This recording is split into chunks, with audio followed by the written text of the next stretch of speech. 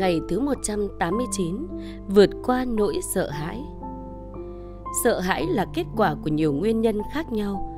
Nhận thức về mối đe dọa tức thời nào đó gây ra nỗi sợ hãi đột ngột như một loại cơ chế phòng vệ. Trên thực tế, điều này có thể cứu mạng bạn. Ví dụ, mối đe dọa trước mắt là một chiếc ô tô lao sang làn đường của bạn. Nỗi sợ hãi bất chợt buộc bạn phải hành động để tránh va chạm. Tuy nhiên, sợ hãi cũng có thể là kết quả của các yếu tố khác xa hơn mà chúng ta trải nghiệm như những mối đe dọa của hạnh phúc của chúng ta. Ví dụ, một người có thể vật lộn với nỗi sợ hãi trước sự suy thoái kinh tế hoặc mất lợi nhuận trong một doanh nghiệp.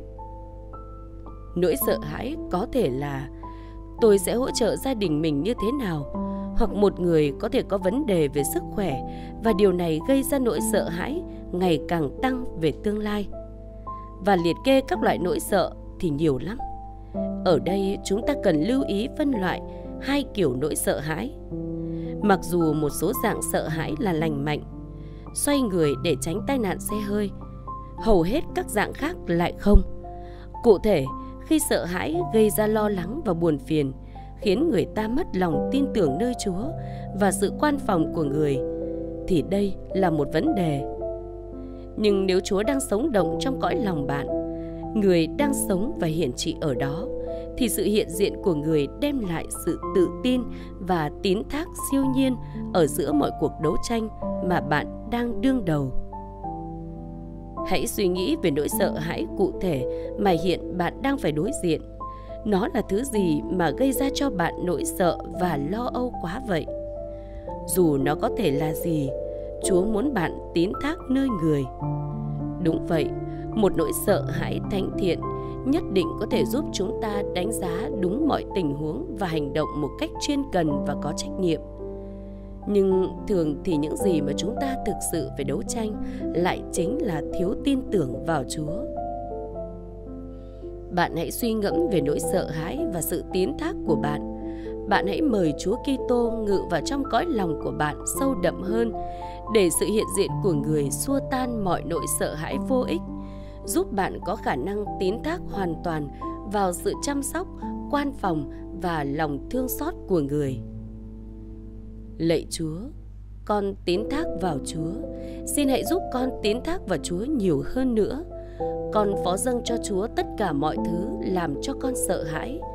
Con tín thác vào tình yêu trọn hảo của Chúa và con khao khát được nương tựa hoàn toàn vào lòng Chúa thương xót trong suốt cuộc đời con. Lạy Chúa mến yêu, cuộc sống của con là của Chúa.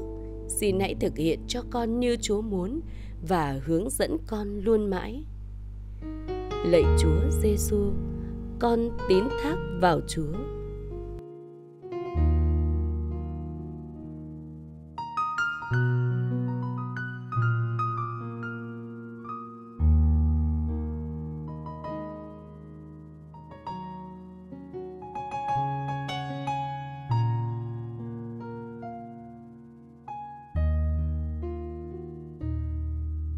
Lòng thương xót chúa, đỡ nâng con khi đời yếu hèn. Lòng thương xót chúa chở che con qua từng lối con về. Khi đam mê, con vụng về xa chúa. Khi gian nan, con tìm nương bóng ngài. Lòng thương xót chúa bao la bao la vượt biển xa. Chúa đã yêu con, khi con cứ mãi làm ngơ. Tình chúa yêu con, cho dù con đây hững hờ. Thì lòng thương xót chúa